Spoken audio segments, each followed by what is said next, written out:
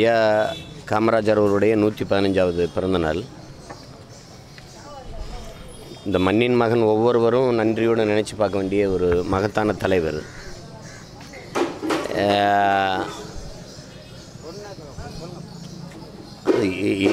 எழுத்தறிவித்தவன் இறைவன் என்றால் எங்களுக்கு எங்களுக்கெல்லாம் எழுத்தறிவித்த இறைவன். ப இன்னைக்கு மிகப்பெரிய கல்வியாளர்கள் எல்லாம் அவர் திறந்த பள்ளிக்கூடத்தில் படித்து வந்தவங்க தான். குறிப்பாக ஐயா அப்துல் கலாம் உட்பட பல பேர். அப்போ ஒரு கல்வி கண் திறந்த ஒரு மா மேதையாக எங்கள் நம்ம ஐயா இருக்காங்க. ஊழல் லஞ்சம் அப்படி ஆகி போயிட்ட நிர்வா அப்படி ஆகி போன நிர்வாகத்துக்கு முன்னாடி உண்மை நேர்மை எளிமை தூய்மை அப்படி ஒரு அரசியலில் ஒரு நிர்வாகத்தை கொண்டு வந்த ஒரு மகத்தான தலைவர். அவருடைய பிறந்த நாளில் நம்ம வந்து அவரை நினைவு கூற வேண்டியது ஒவ்வொரு பிள்ளையினுடைய கடமை. ரெண்டாவது எங்களைப் போல பிள்ளைகள் அந்த தூய தலைவனின் பாதையில் பயணிக்க நினைக்கிறோம். அதனால் ஆண்டுதோறும் அவருடைய பிறந்த தினம் நினைவு தினத்தை நாங்கள் போற்றி கொண்டாடி அவர் எந்த வழியில் பயணித்தாரோ அதே வழியில் பயணிக்கணுங்கிற உறுதியை ஏற்கிற ஒரு நாளாக இதை பார்க்குறோம். அப்போ அப்படி தான் பதினஞ்சாம் தேதி எங்களுக்கு அனுமதி இல்லை. எப்போவுமே உரிய நேரத்தில் அரசு அனுமதி கொடுக்காது. இது இன்றைக்கி அனுமதி கொடுத்துருக்குது. அதனால் ஐயாவுடைய பிறந்த நாளை இன்றைக்கி கொண்டாடுறோம்.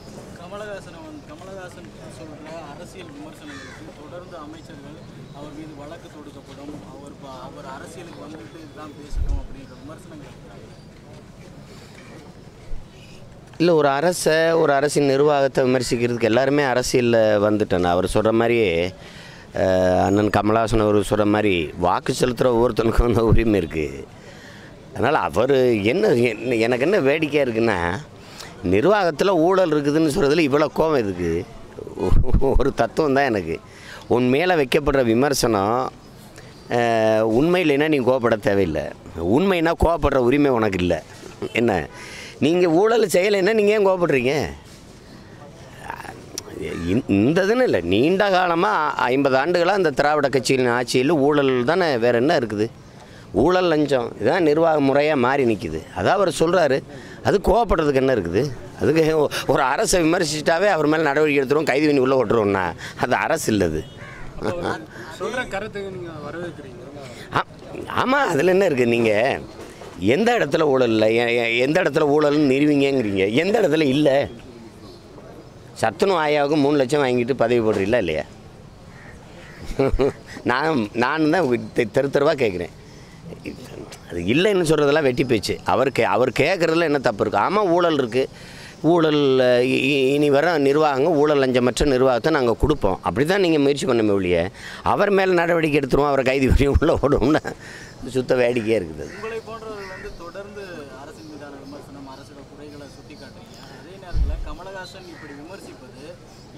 முன்னாடி ஜெயலலிதா உயிரோடு இருந்த போது விமர்சிக்காத இப்போ விமர்சிக்க ஆரம்பிச்சிட்டார் அப்படின்ற ஒரு சில விமர்சனங்களும் இது பற்றி உங்களுக்கு கலைஞர்கள் வந்து எப்போவுமே பாதுகாப்பாக இருக்கணும்னு நினைப்பாங்க. இப்போ எங்கள் இப்போ என்ன எடுத்துக்கிட்டிங்கன்னா எல்லாத்தையும் விட்டுட்டு வந்து தெருவில் நிற்கிறோம் அப்படி இல்லை. அவங்க கொஞ்சம் பாதுகாக்க பாதுகாப்பாக இருக்கணும்னு நினைப்பாங்க. நீங்கள் தம்பி விஜய் படம் தலைவாகட்டும் விஸ்வரூபம் படம்லாம் வெளியிட்டுக்கு எவ்வளவு கஷ்டப்பட்டாங்கங்கிறத நீங்கள் பார்க்குறீங்க இப்போ அந்த மாதிரி பல கோடிக்கணக்கான முதலீடை செய்து ஒரு முதலாளி நம்மளை நம்பி படம் எடுக்க வரும்போது நம்மளால் அவர் பாதிக்கப்பட்டக்கூடாதுங்கிறதுக்காக மௌனம் கா- சாதிச்சிருக்கலாம். இன்றைக்கி வந்து அது சொல்கிறாருன்னும் போது அன்னைக்கெல்லாம் பேசாமல் இன்றைக்கி ஏன் பேசுகிறீங்கன்னு நம்ம பார்க்கணும். இன்றைக்காவது பேசுகிறாருன்னு ஏன் பார்க்கக்கூடாது? அப்படி தான் பார்க்கணும். அதை என்னையே கேட்குறாங்களே இவ்வளோ நாள் எங்கே இருந்தார் சீமான்னு இவ்வளோ நாள் இந்த களத்தில் இருந்தவங்க தான் பேசியிருக்கணும். இன்றைக்கி பேசுகிற சீமான் இவ்வளோ நாள் எங்கே இருந்தாருன்னா அப்போ நீங்கள் நான் படிச்சுட்டு இருந்திருப்பேன் ஏதோ ஊரில் இருந்திருப்பேன். அப்படி பார்க்கக்கூடாது. கமலஹாசனோட விமர்சனங்களுக்கு தொடர்ந்து எதிர்வினையாற்றுற தமிழக அரசு அமைச்சர்கள் தமிழக அரசின் சாதனைகளையோ இல்லை அவங்க அவங்க செஞ்ச தவறுகளையோ திசை திருப்ப செய்கிற முயற்சியை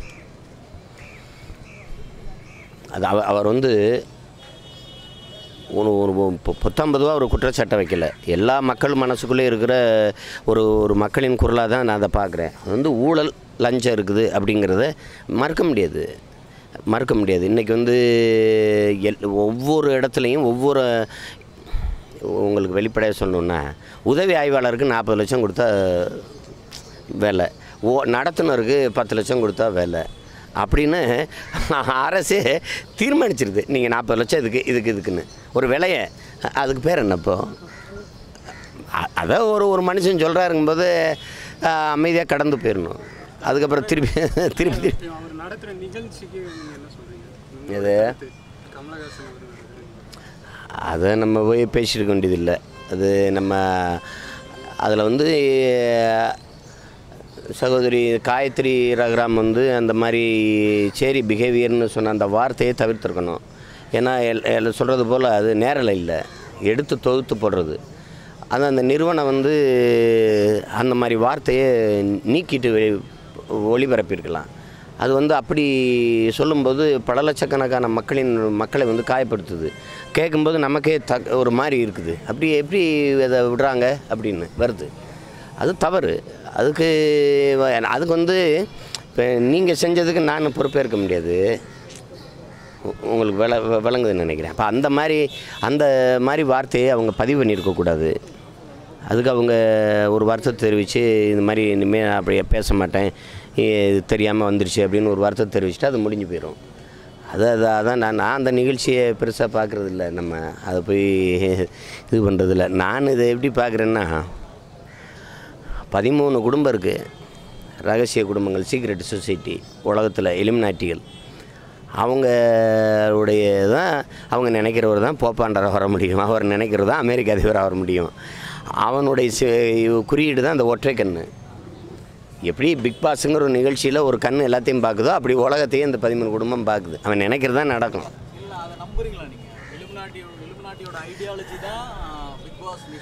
நம்புறதில்ல உண்மை தானே இதில் போய் இதில் போய் நம்புறது என்ன உண்மை தான் நீங்கள் ஆதார் ஆதாரை முத முதல்ல கொண்டு வருது ஹிட்லர் தான் கொண்டு வர்றாரு. இந்த இந்த இந்த மாதிரி அடையாளத்தை. உங்களை தட்டினா உங்கள் சமூகம் என்ன உங்கள் பின்னணி என்ன நீங்கள் எங்கே இருக்கிறீங்க என்னன்னு தெரியும். அப்படி தான் அவன் முதல்ல கொண்டு வந்துட்டு யூதனை தனியாக அடையாளம் கண்டு யூதனை முழுக்க அழித்தான் ஹிட்லர். அதுதான் பிரிட்டன் கொண்டு வந்துச்சு. கொண்டு வந்து தனி மனித சுதந்திரம் பாதிக்கப்படுதுன்னவொன்னே அதை விட்டுருச்சு. ஆனால் என் நாடு என்ன பண்ணுது? உச்சநீதிமன்றத்தில் போய் தனி மனித சுதந்திரம்ங்கிறது அடிப்படை உரிமை இல்லைங்குது. அப்புறம் எதுக்கு சுதந்திரம் வாங்கணும்னு நமக்கு நமக்கு தெரியல. அடிமை சாசனம் எழுதி கொடுத்துட்டு நாங்கள் வாழ்ந்து கொண்டிருக்கிறோம். என் மனைவியோட நான் படுத்திருக்கிறதே நீங்கள் கண்காணிக்க முடியும். ஏன்னா என் கண்ணின் கருவழியை நீங்கள் எடுத்துறீங்கன்னா நான் எங்கே போனாலும் கண்காணிக்க முடியும். சொந்த நாட்டு மக்களை நம்பாத ஒரு நாட்டில் போய் நம்ம அது பேசி பயன் இல்லை. அது அது மாதிரி தான் இது. சட்டப்பேரவை இப்போ முடிய போகுது. இது எதிர்க்கட்சி ஆளுங்கட்சி செயல்பாடுகள் எப்படி மானிய கோரிக்கைகள் எடுத்து நிறைவேற்றப்படுமா? நான் இதில் எதையுமே கவனிக்கல. இதில் இதில் வந்து சட்டப்பேரவையில் என்ன நடக்குது என்ன போகுது அப்படின்ட்டு. அதெல்லாம் அந்த காலம்லாம் முடிஞ்சு போச்சு. இப்போ நம்ம அதை அக்கறையோடு பார்த்ததெல்லாம். இது ஒரு வேடிக்கை நடந்து கொண்டு நம்ம அதை பார்க்குறோம் அதை. அது போய் என்ன கருத்து இருக்குது அதில் என்ன சொல்கிறதுக்கு இருக்குது? சொல்லுங்கள் இங்கே பாருங்கள் நீட்டு தேர்வுக்கு கையெழுத்து போட்டது யார்? இவங்க. ஜிஎஸ்டிக்கு கையெழுத்து போட்டது இவங்க. ஐயா தம்பிதுரை நேற்று என்ன சொல்கிறாரு நாங்கள் எதிர்க்கிறோம். அவர் என்ன சொல்கிறார் ஆமாம் எல்லா பணத்தையும் அது வாங்கிட்டு போயிருது வரியெல்லாம். அப்புறம் திருப்பி வந்துட்டு நாங்கள் கடிதம் எழுதி எங்களுக்கு நிதி கேட்டாலும் கொடுக்க மாட்டேங்குது. அப்போ எல்லா உரிமையும் பறிச்சுக்கிறதுன்னு. பறிச்சுக்கிறோம்ல? ஏன் கையெழுத்து போட்டிங்க? ஒருத்தர் ஒரு ஒருத்தர் வந்து இந்த ஜிஎஸ்டியை ஆதரித்து பேசுகிறாரு ஒருத்தர் தப்புன்னு பேசுகிறாரு ஒரு கட்சியில் இருக்கிற மூத்த தலைவர்களுக்குள்ளே இப்படி வேறுபாட்ட கருத்து இருந்துச்சா? நம்ம என்ன பதில் சொல்ல முடியும் சொல்லுங்கள் நீங்கள் பார்க்குறீங்கல்ல அதை? அப்போ இதை எப்படி இப்போ இது பண்ண முடியும்? ஜிஎஸ்டிங்கிறது மாநிலங்களின் பொருளியல் தன்னாட்சியின் மேலே தொடுக்கப்பட்ட ஒரு போர் இது. அப்படி தானே இப்போ? இப்போ இப்போ இந்த ஏழு ஆண்டுகள் அறிவிக்காத ஒரு திரைப்பட விருது அறிவிச்சிருக்குது. திரைப்படத்துறையில் இருக்க கேளிக்கை வரியை விட்டு கொடுத்துருங்கங்கிறாங்க. ஒரு துறையில் அந்த துறை சார்ந்து எது வருமானம் வரலைன்னா நான் அப்படியே அந்த துறையை நிர்வகிக்க முடியும். எந்த வருமானமே எனக்கு இல்லைன்னா அந்த துறையை எப்படி நிர்வகிக்க முடியும்?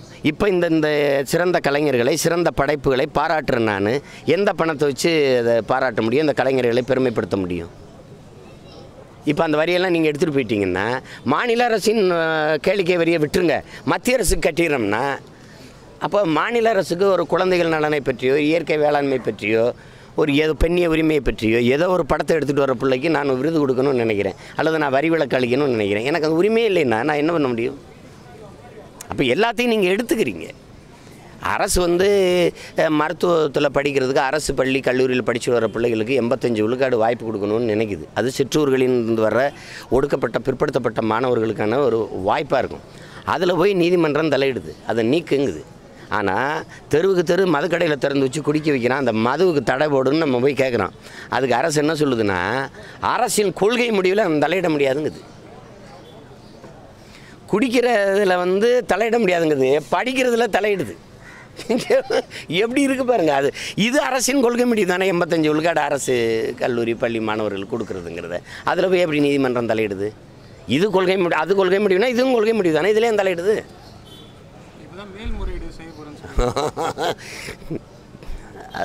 எத்தனை மேல்முறையீடை நம்ம பார்த்துருக்கோம்? அது பேசி ராம்நாத் கோவிந்துக்கு தான் வெற்றி பெறுவதற்கான வாய்ப்பு அதிகம் இருக்குன்னு அவர் குடியரசுத் தலைவராக வந்தால் இந்திய நாடு எப்படி நீங்கள் நினைக்கிறீங்க? நாடு ஒரு குடியரசுத் தலைவர் ஒருத்தர் ஆயிட்டதுனால என்ன ஆயிரும்? எங்கள் ஐயா அப்துல் கலாம் இருந்தாங்க ஐயா கேஆர் நாராயணன் இருந்தாங்க. அதனால் என்ன வந்துட்டுது? கொள்கை முடிவை பாருங்க நிர்வாகம் யார்கிட்ட இருக்குது நிர்வாகம் நாட்டின் பிரதமர் முதன்மை அமைச்சர் பிரதமர்கிட்ட தான் இருக்குது. மற்ற நாடுகள் அமெரிக்கா போல் குடியரசுத் தலைவராக அதிபர்கிட்ட இல்லை. இங்கே வந்து பிரதமர்கிட்ட தான் இருக்குது. இப்போ நாளைக்கு வந்து இப்போ நம்ம ஐயா ராம்நாத் கோவிந்த் வந்து என்ன என்ன ஆயிருப்பது ஒன்றும் இல்லை. இவங்க சொல்கிற இடத்துல கையெழுத்து போட்டு கொடுப்பாரு. அதுதான் நடக்குமே ஒழிய வேறு என்ன நாட்டில் ஒரு மாற்றம் வந்துடுற போகுது என்ன வ- வளர்ச்சி இந்த நாடு கண்டுற போகுது இவங்க எல்லாம் சொன்னாங்க பண மதிப்பிழப்பு வந்த பிறகு பூமியின் சொர்க்கம் அந்த நாடு மாறப்போகுது எல்லாம் பண்ண போகுதுன்னு. வளரும் நாடுகளின் பட்டியலிருந்தே என் நாட்டை தூக்கிட்டான்.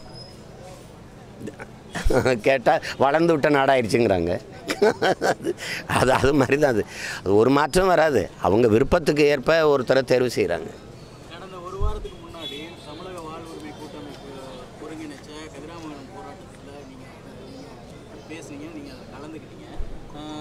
வெகுஜன நடிகர் ரஜினிகாந்த் அரசியலுக்கு வரும்போது இந்த தமிழர் தான் தமிழ்நாட்டை ஆளணும் அப்படின்ற கொ- கொள்கை முழக்கத்தை முன்வைக்கிற கூட்டமைப்போட நீங்கள் சேர்றதா பிளானா? இல்லை இந்த கூட்டமைப்பு இந்த இயக்கங்களெல்லாம் சேர்த்து ரஜினிகாந்த் எதிர்க்கிறதுலாம் இல்லை அவரை எதிர்க்கிறதுக்கு அவ்வளோ பெரிய ஆற்றலாம் தேவையில்லை.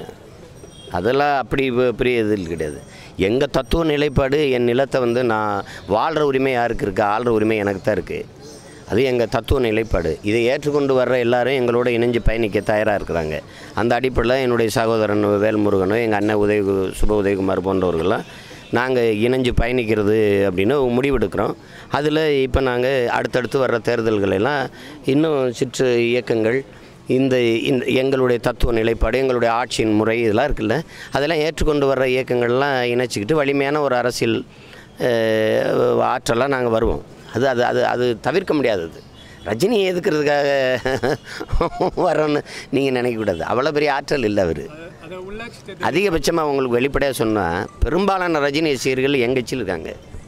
ஏ- என் தம்பியிலே சொல்கிறாங்க அவர் ரஜினி ரசிகர். நாங்களே அவர்கிட்ட சொல்லிடுறோன்னே வர வேணாம்னு. அந்த அளவுக்கு இருக்குது அவர் அவர் அவர் பெரியவர் அவர்கிட்ட என்ன சொல்கிறோம் உங்களுக்கு இந்த ஆட்டம் சரியாக வராது நீங்கள் விட்டுருங்க. நடிங்க இன்னும் பத்து வருஷம் கூட நடிங்க உங்களை வேணான்னு சொல்ல. அரசியல் வேண்டாம். அரசியல் வாங்க தலைவராக இருங்க எங்கள் மக்களுக்கு சேவை செய்யுங்க. முதல்வராக இருந்து எங்களை எங்கள் மேலே அதிகாரத்தை செலுத்தணும்னு நினைக்கக்கூடாது. ஏன்னா நான் இனி இன்னொருத்தனை ஆளுமையின் கீழே நான் அடிமையாக வாழ தயாரில்ல.